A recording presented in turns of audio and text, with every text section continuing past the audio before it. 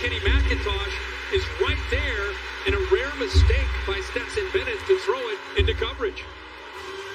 Tailback Chip Trayanum was a linebacker until a shift mid-season.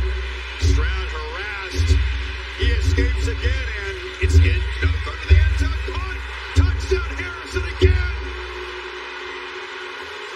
Stroud, like a maestro, escapes the sack and delivers a strike for the second time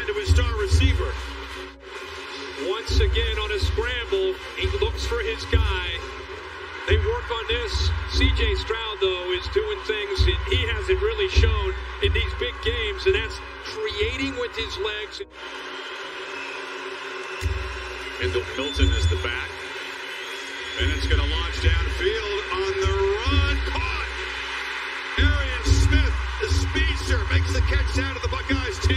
When, when you have a receiver like this that can get to the middle of the field, these linebackers with two deep safeties, he's got to run with that. He anticipates and he tries to get a head start, but you're talking about a track athlete. You're vulnerable down the middle. Backers got to carry that. Milton makes a cut and bangs down near the goal line. Touchdown. He got in. How about that answer by Georgia?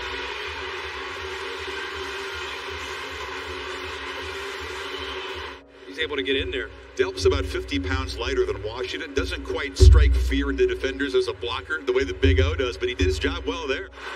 McIntosh is the deep set back. He's got the football. He's got a crease in the clear. McIntosh,